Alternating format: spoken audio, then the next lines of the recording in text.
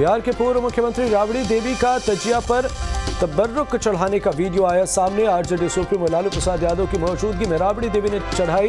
तबर्रुक video viral होने के बाद बिहार में सियासत तेज। बिहार के पूर्व, बिहार के पूर्व मुख्यमंत्री राबड़ी देवी के तजिया का पर वीडियो सामने आने पर विजय सिन्हा ने साधा निशाना कहा, आप सनातनी हैं, मत कीजिए तुष्टिकरण की राजनीति। प्रतिबंधित क्षेत्र में तलवार और भाला लेकर आने पर उठाए सवाल। पूर्व मुख्यमंत्री श्रीमती राबड़ी देवी जी, जो तजिया को पूज रहे हैं और तजिया के पूजने के क्रम में उन्होंने क्या संदेश देना चाहते हैं तुष्टिकरण की राजनीति का? धर्मनिरपेक्षता में हर धर्म का सम्मान होना चाहिए, लेकिन ये नौटंकी नहीं होनी चाहिए। तजिया पूजने के नाम पर वोट की राजनीति नहीं करनी चाहिए। 26 दिन बाद शिक्षा मंत्री के ऑफ़िस पहुँचने पर नेता प्रतिपक्ष विजय सिन्हा ने कसतंज कहा अपमान का कूट पीकर कार्यालय आने को हुए मजबूर। भूमि राजस्व मंत्री पर भी साधा निशान।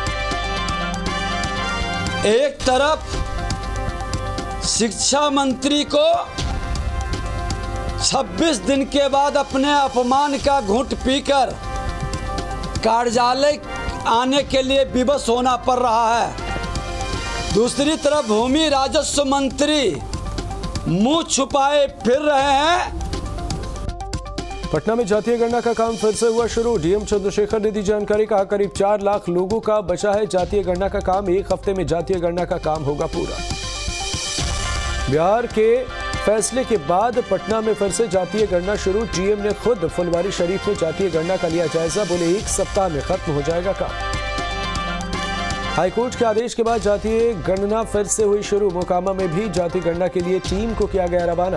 तीन सौ उनचास लोगों की टीम घर घर जाकर जातीय गणना का काम शुरू करती नज़र आई। जातीय गणना पर फिर से शुरू होने वाले मामले को लेकर बोले जेडीयू विधायक पंकज मिश्रा का से सभी को होगा फ़ायदा। 2024 के लोकसभा चुनाव में दूर दूर तक नज़र नहीं आएगी बीजेपी।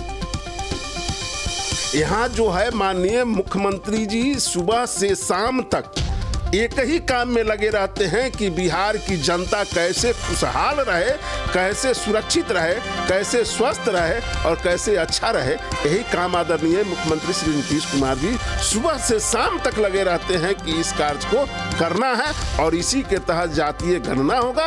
और जातीय गणना से सभी समाज को, सभी धर्म को, सभी जाति को, सभी लोगों को इसका लाभ मिलने वाला है। जातीय गणना पर बिहार के विधायक इंजीनियर शैलेंद्र ने कहा कि बिहार में बीजेपी की सहमति से ही शुरू हुआ था गणना का काम। बोले, बीजेपी कभी नहीं करती जाति की राजनीति। बताइए ना, पहले भी जो नरेंद्र मोदी जी ने बहुमत लाया केंद्र में और नरेंद्र मोदी अजय बहुमत से सरकार बनाए केंद्र में तो क्या ये सब जातियाँ नहीं थी पहले? उनको पता नहीं था सब पता था। लेकिन ये लोग केवल और केवल राजनीति कर रहे हैं राजद के लोग। आरजेडी ने बीजेपी पर किया पलटवार कहा मोदी सरकार आने के बाद पूरे गणना को ठंडे बस्ते में डाल दिया। बीजेपी पर हर चीज़ पर राजनीति करने का लगाया आरोप। समाज के अंदर जो लोग रहते हैं जो सभी वर्गों में हैं उनका सामाजिक और आर्थिक स्थिति क्या है, उनकी राजनीतिक स्थिति क्या है, उनके अंदर किस तरह से आकांक्षा है? क्योंकि भूख तो राजा को भी लगती है, रंग को भी लगती है। लेकिन उस भूख में ये देखना होगा कि समदर्शी है कि नहीं। जातिगत जनगणना को लेकर चिराग पासवान ने नीतीश सरकार पर साधा निशाना कहा। जातिगत गणना पर सभी दलों ने जेडीयू का किया था समर्थन, लेकिन सर्वदलीय बैठक में जेडीयू ने हमें नहीं बुलाया। ये जातीय जनगणना किस तरीके से धरातल पर उतरेगी? क्या वो सही में पारदर्शी होगी कि नहीं होगी? ईमानदारी की बात है कि जनता दल यूनाइटेड का कार्यकर्ता तो बहुत दूर की बात है, इनके मंत्रियों को भी नहीं पता होगा। कि बिहार में जाति आधारित जनगणना किस आधार पर हो रही है? उसका उसका प्रोसेस क्या है? क्या पैरामीटर्स हैं? कैसे उसको किया जाएगा? सीधा निर्देशित कर देना जिला अधिकारियों को बिना इस बात की चर्चा किए हुए कि भाई क्या उसका फॉर्मेट होगा? किस तरीके से इस जनगणना को किया जाएगा? तो दर्शाता है कि जब तक आप पारदर्शिता रखेंगे नहीं तो इस तरीके के गतिरोधक आते रहेंगे। जातिगत गणना पर सुशील मोदी का बड़ा बयान, कहा जेडीयू चाह रही थी बीजेपी जातिगत जनगणना का करे विरोध, लेकिन बीजेपी ने कैबिनेट से पास करवाया जातिगत गणना के समर्थन में है बीजेपी।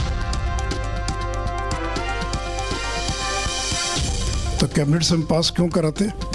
जिस समय ये निर्णय हुआ बिहार के अंदर, उस बिहार सरकार में कौन लोग शामिल थे? बीजेपी के चौदह मंत्री इसमें शामिल थे। ये हमारी सरकार का निर्णय है। अगर हम नहीं चाहते तो उसी समय विरोध करते तो आप नहीं करा सकते थे। अगर एक बड़ा घटक दल अगर विरोध करता, हम लोग तो डेलीगेशन में गए। प्रधानमंत्री के यहाँ जो प्रतिनिधिमंडल गया उसमें भी श्री जनक राम शामिल थे। विधानसभा में, विधान परिषद में दो दो बार प्रस्ताव आया हम लोग उसका समर्थन किया। शिक्षा विभाग के एसीएस के के पाठक का बड़ा आदेश, शिक्षा के अलावा शिक्षकों को कोई काम नहीं देने के लिए आदेश। थोड़ी देर बाद ही के के पाठक ने आदेश लिया वापस। आदेश में बदलाव करते हुए के के पाठक ने जाति गणना में शिक्षकों को शामिल होने की दी मंजूरी। कहा, अब शिक्षकों को केवल जातीय गणना में लगाए। के के पाठक ने शिक्षकों को लेकर डीएम को जारी किया आदेश। जाति गणना के बाद अन्य कोई प्रशासनिक कार्य में नहीं लगाए जाए शिक्षक जातीय गणना में शिक्षकों के शामिल नहीं होने पर सियासत शुरू। बीजेपी और महागठबंधन के नेता आमने सामने। केके पाठक के शिक्षकों को लेकर दिए आदेश पर जेडीयू ने इशारों इशारों में केके पाठक पर साधा निशाना। जेडीयू विधायक पंकज मिश्रा ने कहा, सरकार पूरे मामले को देख रही, ऐसे में किसी अधिकारी के बयान का कोई मतलब नहीं। तो गणना जो होना है उसके लिए करीब करीब 75 परसेंट काम पूरा हो चुका हुआ है। देखिए पा, पाठक जी का अपना मामला है उससे कोई सरकार को लेना देना नहीं सरकार अपना काम कराएगी। सरकार के पास व्यवस्था है और सरकार हर हाल में कटिबद्ध है कि किसी भी कीमत में जातीय गणना होना है और हो करके रहेगा। शिक्षकों को लेकर केके पाठक के आदेश पर घमासान जारी। बीजेपी प्रवक्ता डॉक्टर राम सागर सिंह ने नीतीश सरकार पर साधा निशाना। सरकार में आपसी तालमेल का बताया अभाव। आखिर शिक्षक जाए तो जाए कहा? सरकार में सामंजस्य का घोर अभाव है। कटिहार गोलीकांड का, जहाँ बड़े भाई और छोटे भाई की पार्टी सही ठहराती है तो वहीं वामपंथी दल इसको गलत ठहराते हैं। ये अपने कंट्राडिक्टरी आदेशों से, आपसी सामंजस्य के अभाव से ही सरकार आज न कल गिर जाएगी। पुर के परबत्ती में मुहर्रम के दौरान पत्थरबाजी को लेकर सियासत बीजेपी के विरोध को लेकर कांग्रेस विधायक अजीत शर्मा ने बीजेपी पर साधा निशाना, बीजेपी पर राजनीति करने का लगाया आरोप। बीजेपी प्रदेश अध्यक्ष सम्राट चौधरी ने अमित शाह से की मुलाकात। सम्राट चौधरी के साथ कई सांसद रहे मौजूद। बिहार बीजेपी के नेताओं का प्रतिनिधिमंडल, साथ था कानून व्यवस्था के मुद्दे पर हुई चर्चा। दरभंगा के कमतौल मामले पर बीजेपी प्रदेश अध्यक्ष सम्राट चौधरी का बयान। सम्राट चौधरी ने बिहार सरकार पर साधा निशाना केंद्रीय गृह मंत्री अमित शाह से मिलने के बाद सम्राट चौधरी ने दिया बयान। दरभंगा हिंसा की गृह मंत्रालय ने मांगी रिपोर्ट। केंद्रीय गृह मंत्रालय ने बिहार सरकार से मांगी रिपोर्ट। मुख्य सचिव आमिर सुबहानी को लिखी चिट्ठी। कल बीजेपी डेलीगेशन ने अमित शाह से की थी मुलाकात। मुलाकात में बीजेपी डेलीगेशन ने उठाया था दरभंगा हिंसा का मामला। सम्राट चौधरी के नेतृत्व में बीजेपी डेलीगेशन ने की थी मुलाकात।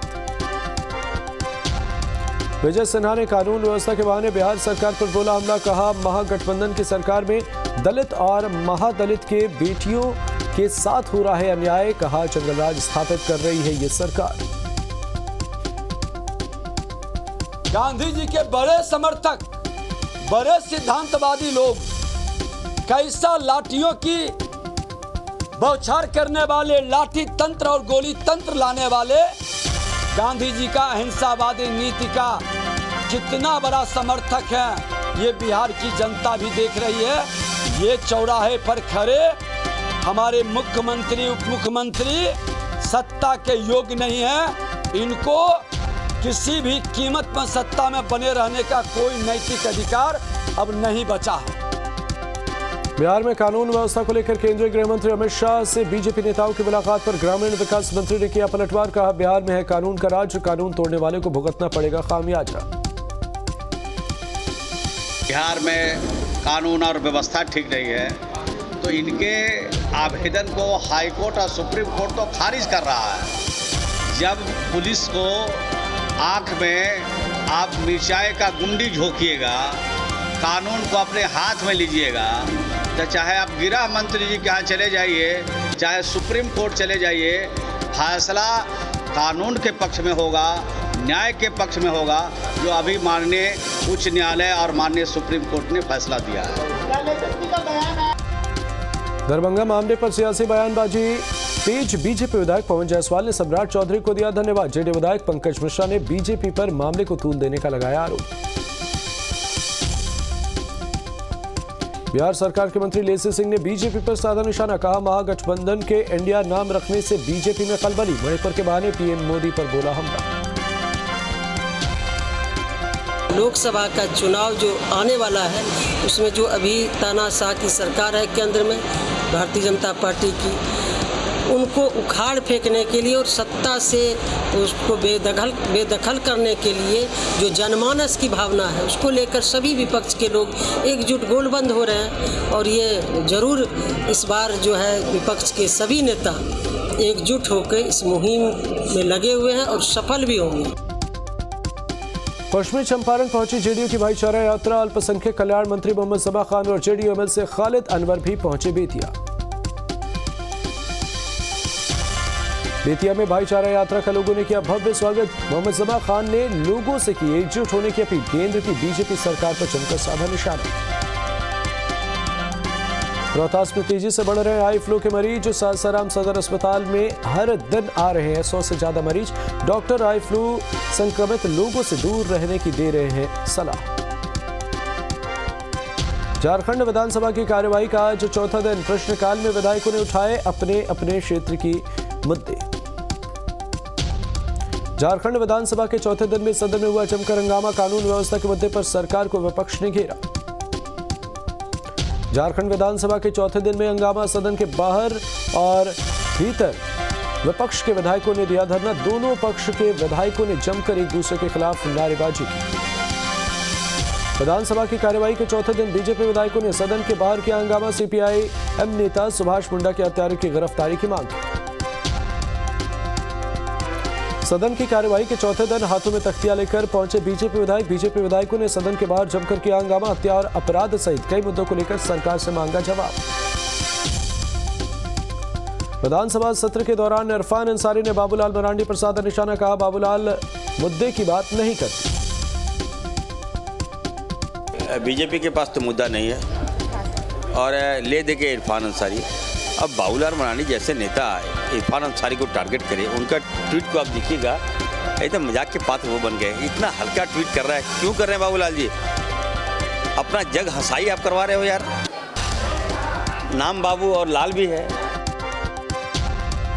कारोबारी विष्णु अग्रवाल को ईडी की विशेष अदालत में किया गया पेश। कोर्ट ने सुनवाई के बाद फैसला रखा सुरक्षित।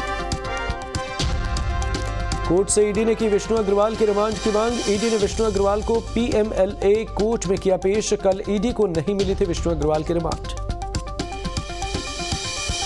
नू दंगे के विरोध में बजरंग दल ने धनबाद में किया विरोध प्रदर्शन। रणधीर वर्मा चौक पर बजरंग दल के कार्यकर्ताओं ने किया पुतला दहन। मौके पर बजरंग दल के अध्यक्ष द्वारिका तिवारी सहित कई कार्यकर्ता रहे मौजूद। भागलपुर के बरारी रेलवे कॉलोनी में संदिग्ध परिस्थितियों में मिला विवाहिता का शव महिला के परिजनों ने लगाया ससुराल पक्ष पर हत्या करने का आरोप। ससुराल पक्ष के लोगों ने पति से विवाद के बाद खुदकुशी की कही बात। महकमे अवैध खनन और भंडारण के खिलाफ एक्शन। पाँच वाहनों को पुलिस ने किया जब्त तो बोले खनन पदाधिकारी, जारी रहेगी कार्रवाई।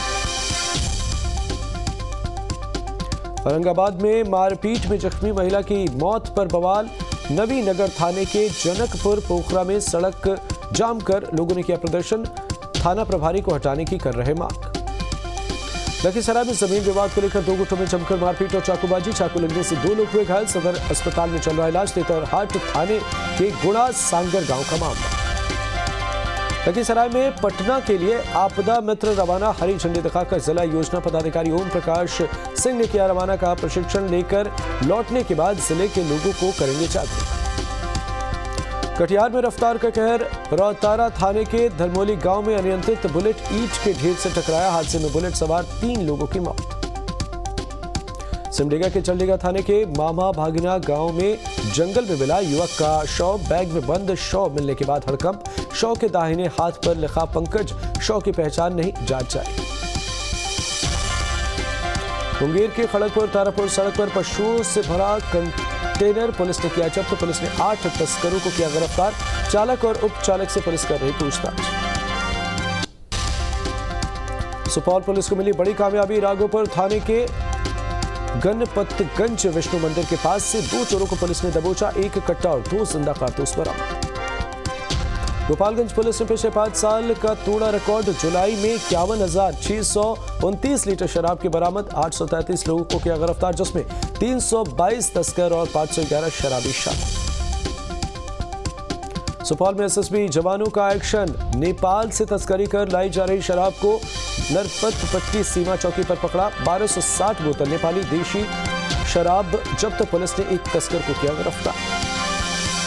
पटना सिटी में बीए पार्ट वन की छात्रा का अपहरण। सोमवार को एडमिशन के लिए घर से निकली थी छात्रा। 24 घंटे के बाद भी घर नहीं लौटी छात्रा। छात्रा ने फ़ोन कर माँ से बचाने की लगाई गुहार। परिजनों ने थाने में दर्ज कराया अपहरण का मामला। बिहार में बढ़ते अपराध को लेकर एक्शन में पुलिस। पुलिस प्रशासन ने रोकथाम की कवायद की तेज। बाढ़ अनुमंडल पुलिस पदाधिकारी के निर्देश पर सभी थाना पुलिस ने चलाया चेकिंग अभियान। पटना सिटी में बेखौफ अपराधियों ने बड़ी वारदात को दिया अंजाम। अपराधियों ने कारोबारी को गोली मार करके हत्या। खाची कला थाना क्षेत्र के महाराज घाट में मारी गोली। पटना सिटी में व्यवसायी की हत्या से इलाके में दहशत का माहौल। बाइक पर सवार होकर आए थे अपराधी। सूचना के बाद मौके पर पहुँची पुलिस। जाँच पड़ताल में जुटी। कटिहार में अपराधियों के हौसले बुलंद। बलिया में अपराधियों ने ट्रिपल मर्डर की वारदात को दिया अंजाम। अपराधियों ने माँ बेटी की गला रेत करके हत्या। अपराधियों की तलाश में जुटी पुलिस। मुंगेर में बदमाशों के हौसले बुलंद हथियार डिलीवरी करने से मना करने पर माँ के सामने बच्चों की पिटाई, दबंगों ने दो बच्चों को करीब दो घंटे तक पीटा। दबंगों की पिटाई में बच्चा गंभीर रूप से घायल, बच्चे को अस्पताल में कराया गया भर्ती। सूचना के बाद मौके पर पहुँचे पुलिस। पुलिस ने दो आरोपियों को किया गिरफ़्तार। मोतिहारी नगर थाने के जानपुर में ज़मीन विवाद को लेकर दो पक्षों में मारपीट। मारपीट में एक पक्ष के कई लोग गंभीर रूप से घायल। विवाद में गोली चलने की भी सूचना। सूचना के बाद मौके पर पहुँची पुलिस। सिवान में दो दुकानों में चोरों ने चोरी की वारदात को दिया अंजाम। नगद तीस हज़ार रुपए सहित भारी मात्रा में सामान ले उड़े चोर। नगर थाने के शेख मोहल्ला और शांति वट वृक्ष की घटना। मुजफ्फरपुर में हॉस्टल के कमरे में फंदे से लटका मिला छात्रा का शव परिजनों ने हॉस्टल संचालक पर लगाया हत्या का आरोप। सूचना के बाद मौके पर पहुँची पुलिस। शव को कब्जे में लेकर जाँच पड़ताल में जुटी पुलिस। अरवल पुलिस ने लोगों के चेहरे पर लौटाई मुस्कान इक्कीस। लोगों के खोए हुए मोबाइल खोज करके वापस। मोबाइल मिलने पर लोगों ने जताई खुशी। धनबाद नगर निगम ने लोन देने के लिए लगाए शिविर। 200 लोगों को लोन देने का लक्ष्य। पीएम सुनिधि योजना के तहत ऋण वितरण कार्यक्रम गरीब और असहाय लोगों के लिए लोन देने का प्रावधान